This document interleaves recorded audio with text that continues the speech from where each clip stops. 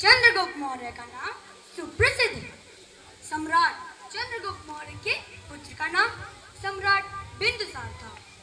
सम्राट बिंदुसार के चार पुत्र थे, जिनमें अशोक यानी मैं सबसे शक्तिशाली और पराक्रमी राजा बना। आज मैं आयुष आप सबके समक्ष सम्राट अशोक की भूमिका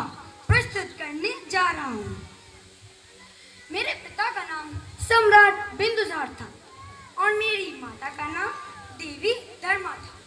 मेरी प्रतिभा को देखते हुए मेरे पिता ने मुझे युवराज घोषित कर दिया।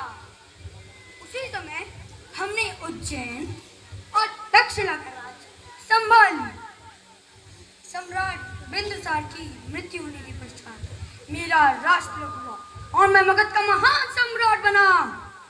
मेरे राज्य में सर्वत्र शांति थी। किसी को भी शत्रुओं का भय नहीं होता था। सब एक शांत और सुखी जीवन बिताते थे।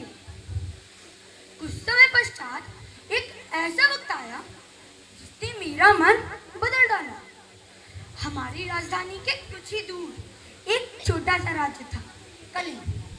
हमने कलिंग पर आक्रमण कर दिया। उन्होंने हमारा डट कर सामना किया। अंततः हमारी जीत हुई। जीत को देखने के लिए मैं इस युद्ध भूमि में गया, जहाँ से वो गेटे रेटे कराते सैनिकों की चीख सुनाई दे रही थी। खाल हाथी और घोड़ों का हिलाना दृश्य को करुण बना रहा था।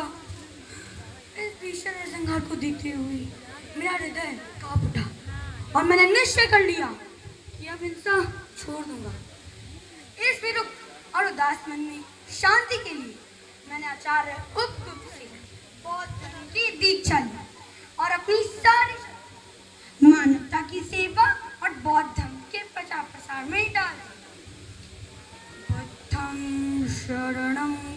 गच्छामि। धम्मं शरणं गच्छामि। सङ्घं शरणं गच्छामि